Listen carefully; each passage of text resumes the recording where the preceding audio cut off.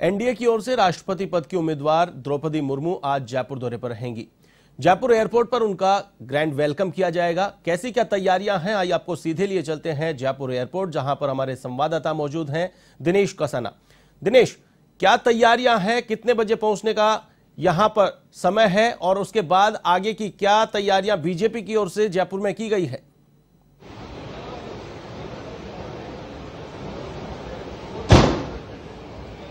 देखिए एनडीए की राष्ट्रपति उम्मीदवार द्रौपदी मुर्मू आज जयपुर पहुंचेंगी। और चूँकि पहले पौने नौ बजे उनका जयपुर पहुँचने का कार्यक्रम था लेकिन समय में तब्दीली हुई है चूँकि फ़्लाइट लेट हुई है और पौने दस बजे वो जयपुर एयरपोर्ट पर पहुंचेंगी। जयपुर एयरपोर्ट पर उनका स्वागत किया जाएगा। बीजेपी के जो नेता हैं स्टेट लीडरशिप उनकी ओर से उनको यहाँ पर रिसीव किया जाएगा और उनका स्वागत किया जाएगा चूँकि आदिवासी वर्ग से वो आती है। तो ऐसे में राजस्थानी और आदिवासी परंपरा के अनुसार उन, अनुसार उनका यहाँ पर आ, स्वागत किया जाएगा। एयरपोर्ट से होटल क्लार्क आमेर तक उनका जगह जगह स्वागत किया जाएगा और इसके साथ ही क्लार्क शामेर में विधायक दल की बैठक होगी।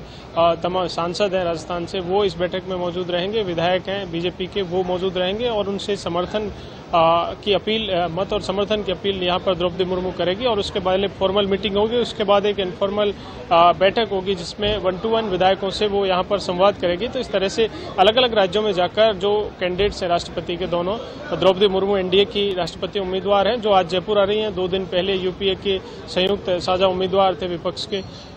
यशवंत सिन्हा वो जयपुर आए थे। बीजेपी कांग्रेस विधायक दल की बैठक उन्होंने शिरकत की थी, प्रेस कॉन्फ्रेंस भी उन्होंने की थी। और आज एनडीए की जो कैंडिडेट हैं द्रौपदी मुर्मू, वो जयपुर आ रही हैं। बीजेपी विधायक दल की यहाँ पर बैठक होगी क्लार्क सामेर में और उसमें वो शामिल होंगी, संबोधित करेंगी और मत और समर्थन की अपील यहाँ पर की जाएगी। तो इस बैठक में सांसद और विधायक बीजेपी के हैं, वो शामिल होंगे। तो इस तरह से आज जयपुर दौरे पर द्रौपदी मुर्मू रहेंगी और उनका राजस्थानी परंपरा के अनुसार स्वागत किया जाएगा। आदिवासी समाज से वो आती हैं तो आदिवासी वर्ग से भी उनका यहाँ पर जगह जगह स्वागत के कार्यक्रम रखे गए हैं और वो आदिवासी परंपरा के अनुसार, उनका अनुसार यहाँ पर एक स्वागत का कार्यक्रम रखा जाएगा। दिनेश, यहाँ पर किस प्रकार की हलचल देखी जा रही है? जयपुर एयरपोर्ट पर कौन कौन लोग पहुँच चुके हैं या कौन कौन लोग पहुँचने वाले हैं?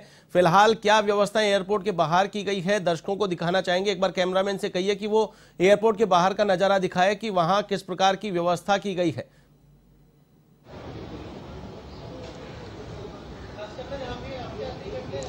बिल्कुल बिल्कुल। देखिए, मैं एक बार दिखाना चाहूँगा आपको। फ़्लाइट में देरी से है, एक घंटे देरी से तो पौने दस बजे वो जयपुर एयरपोर्ट पर पहुंचेंगी।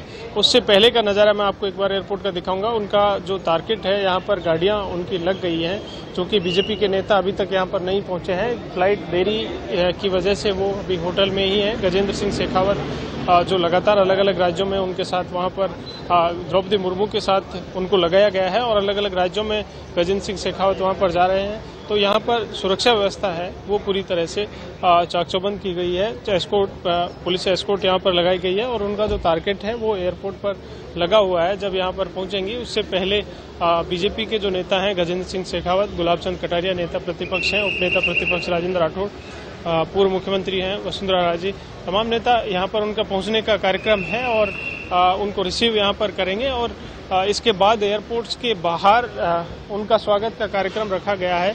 आदिवासी संस्कृति के अनुसार उनका स्वागत यहाँ पर किया जाएगा और उसके बाद वो होटल के लिए रवाना होंगी और होटल वहाँ पर एक पहले फॉर्मल मीटिंग होगी। विधायक दल की सांसद भी उसमें मौजूद रहेंगे और उसके बाद एक इनफॉर्मल बैठक होगी जिसमें वन टू वन वो सभी से विधायक और सांसदों से संवाद करेगी। और, बताया ये भी जा रहा है कि आदिवासी वर्ग की ओर से उनका स्वागत का कार्यक्रम बिड़ला ऑडिटोरियम में भी रखा गया है क्योंकि आदिवासी वर्ग से आती हैं और आदिवासी वर्ग की ओर से उनका यहाँ पर पहली महिला आदिवासी राष्ट्रपति देश की होगी, जो कैंडिडेट एनडीए की ओर से उम्मीदवार बनाई गई है तो उनका यहाँ पर भी जयपुर में जगह जगह स्वागत का कार्यक्रम रखे गए हैं।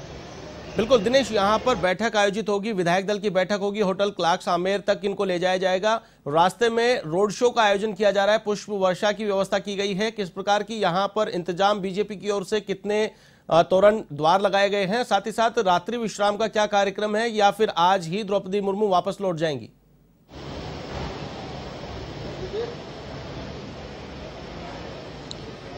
देखिए, उनका आज ही वापस लौटने का कार्यक्रम है और चूँकि आदिवासी वर्ग से आती हैं और बीजेपी इस तरह को पूरी तरह से बुना रही है कि अलग अलग राज्यों में जिस तरह से द्रौपदी मुर्मू वहाँ पर जा रही है और समर्थन जुटाने का प्रयास बीजेपी की ओर से किया जा रहा है, चूँकि अलग अलग राज्यों में गजेंद्र सिंह शेखावत, जो केंद्रीय मंत्री हैं, राजस्थान से हैं वो इस समय जयपुर में ही हैं, उनको उनके साथ लगाया गया अलग अलग राज्यों में वो उनके साथ गए और कुछ देर बाद गजेंद्र सिंह शेखावत भी एयरपोर्ट पर पहुँचेंगे उनको रिसीव करने के लिए, उनके अलावा यहाँ पर नेता प्रतिपक्ष है गुलाब चंद कटारिया, वो पहुँचेंगे। राजेंद्र राठौर उपनेता प्रतिपक्ष हैं।